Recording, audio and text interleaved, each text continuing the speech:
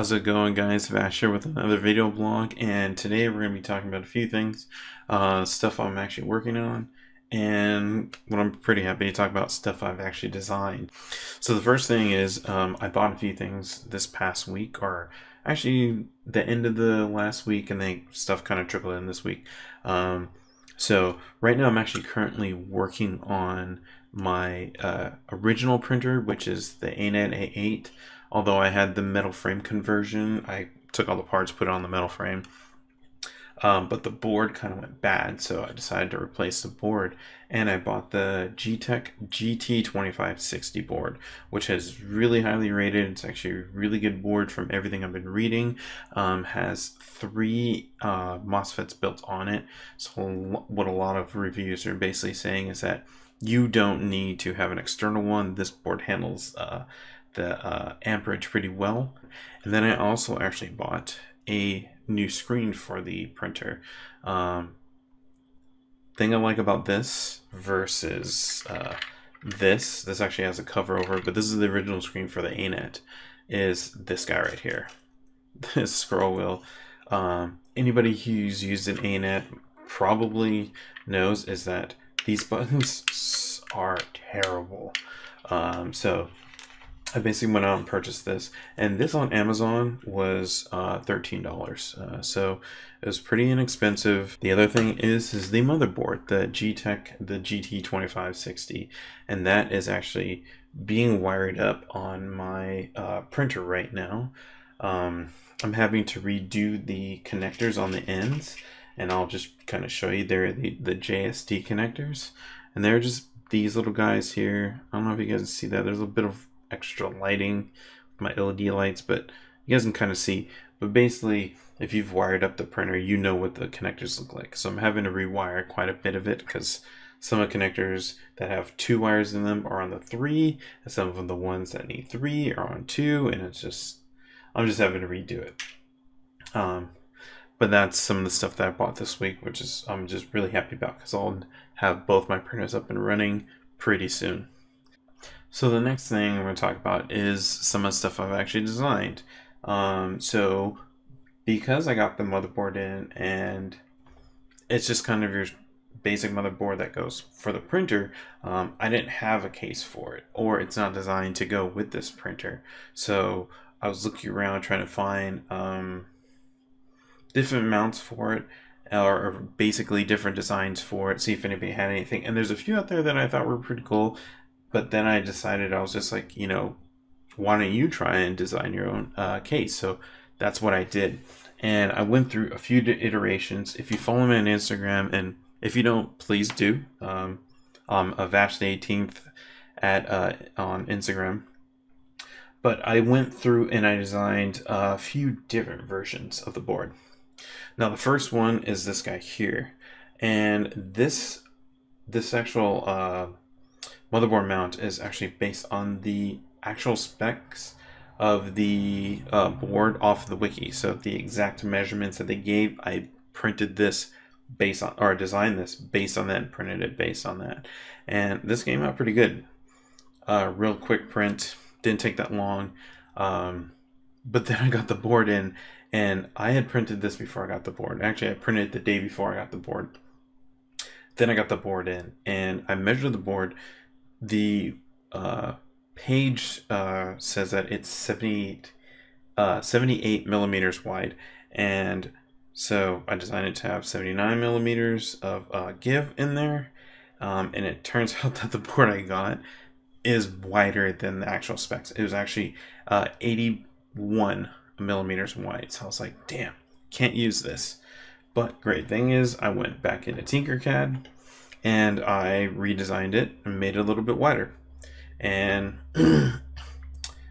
basically, if you can see here, I made this so that it just snaps in. This actually has no screws to it, does not screw except for what goes onto the frame of the printer.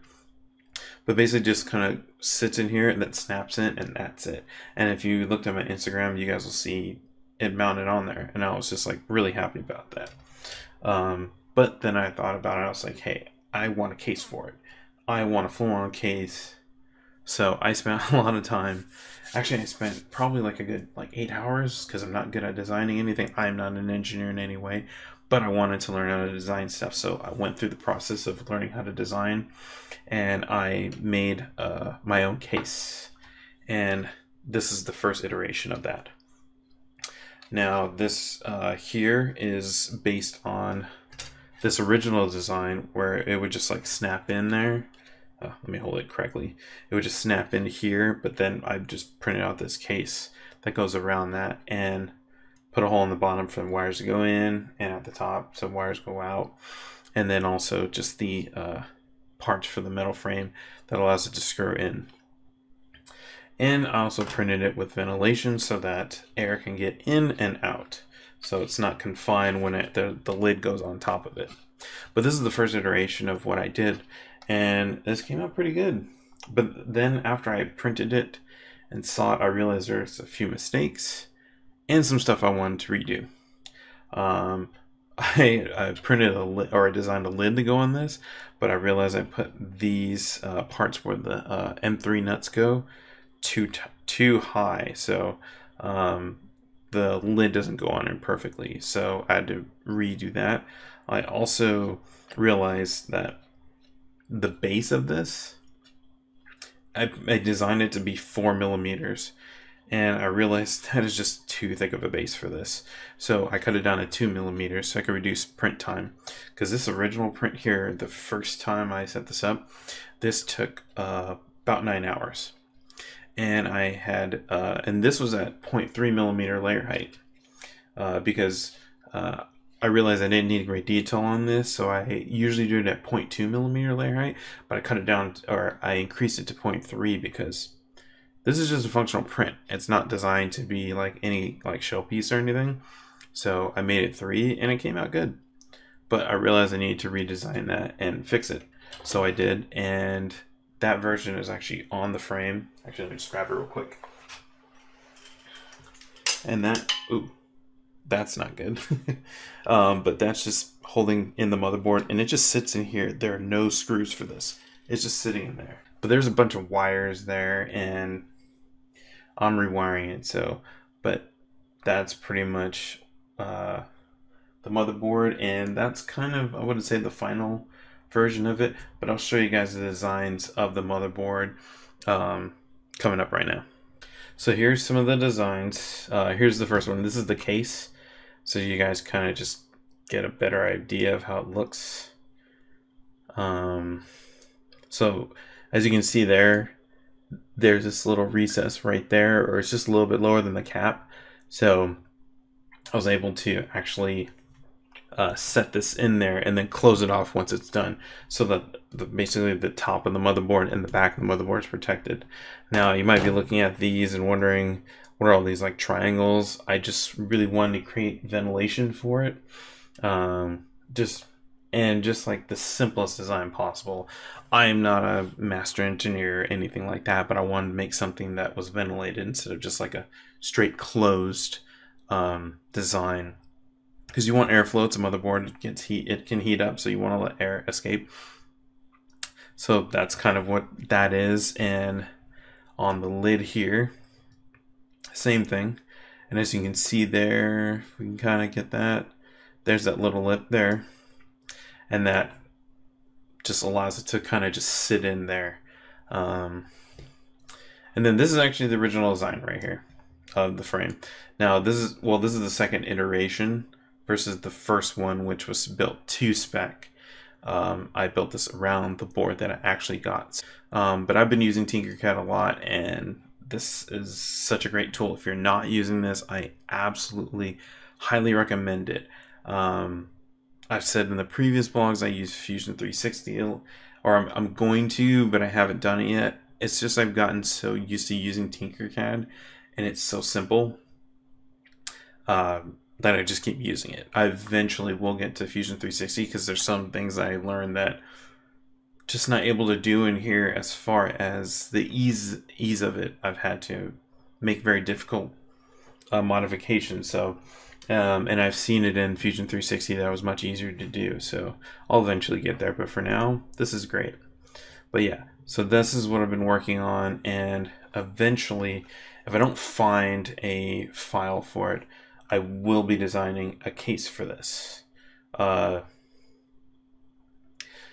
just so I can basically put it on the front of the, I guess my i3 now, um, since I'm not using ANET board anymore on that one. But basically just going to replace this and basically do the same thing, except I'm going to have this guy, which is so much better. But that's some of the stuff I'm working on right now. And, oh man, I've been printing pretty much every day, but here's a tip when it comes to printing. Uh, some people may know this. I imagine quite a few people know this, but for those who don't, um, when I originally printed this case and some of the other stuff, I normally do prints at 0.2 millimeter layer height. It's just kind of standard. It gets you good quality prints, good detail, um, and decent times.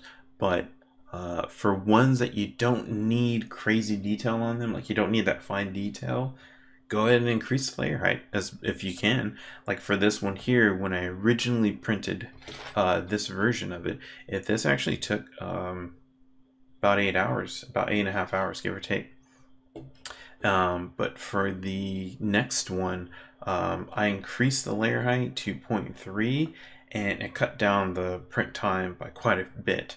And the great part is on this newer one that I have for the metal frame, it actually even reduced it down because I cut down the base of it from uh, four millimeters to two. So that just cut off uh, a lot of time. So check your prints. If you don't need great detail, go ahead and increase the layer height. Get get the print done as fast as you can. There's no need for you to wait long time just because you want to get good detail on something that honestly doesn't need good detail. It just it's a this is just a functional print. This is just designed to uh, do a single purpose. It's not a display piece or anything. Uh, so that's why I increased the layer height on it so I can get it done quicker and also to find out if it worked or not and which it did. Just increase your layer heights if you don't need great detail. If you do, go ahead and keep it low. But if you don't, don't.